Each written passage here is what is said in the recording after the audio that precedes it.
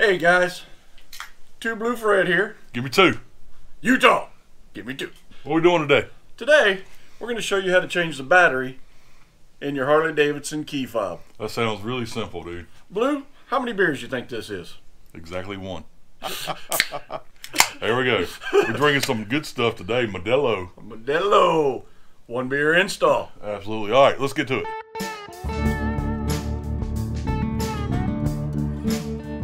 So here you saw the message, the fob battery was low. So that's how I know that we need to change out the battery in the key fob. So while Blue is drinking one beer, we're going to show you how to do this. It's really not hard. If you look on this side of the key fob, there's a little notch right there. You're to pry that open. Now, if you guys have never had to open this thing up, you might not be aware of this, but that's what that notch is for. There's a lot of different things you can use. We got quarter, we got new battery, washer, some keys, nickel.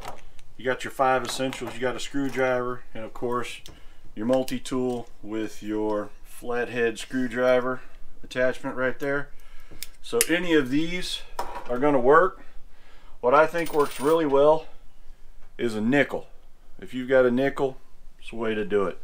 You should always carry a spare battery with you on your bike. All right, this is a CR2032. Always keep one or two spares on your bike because if your key fob goes dead and you don't have one of these batteries, trying to find one in close proximity to yourself, a lot easier just to carry a spare. What you do, just get in here with this here nickel and the notch. twist it, you know, this kind of motion, and it's going to open up. And there you see right there is the old battery. Let's say you don't have a nickel or any other kind of coin. Most of us carry keys, right? Just your typical house key. If you get your house key in this notch and you do the same kind of motion, you'll find a kind of kind of a flat spot, right? It's going to do the exact same thing. To get the old battery out, go to a screwdriver. Got a little notch right there. Just sort of pop that dude right out. Right? Might have come out with your finger. Then you take your new battery right there and slide it in.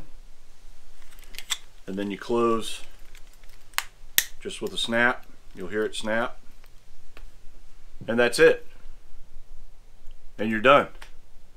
Simple. Blue, you even finish your beer? Didn't even finish his beer. This is less than a one beer install. Guys, this is Two Blue Fred.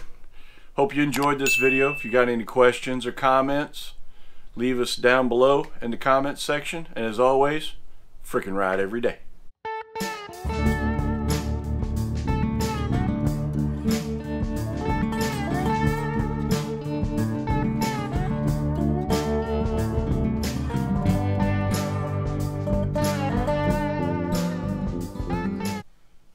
Crack it. Take three. There we go. We're drinking some good stuff today. Modelo. Modelo.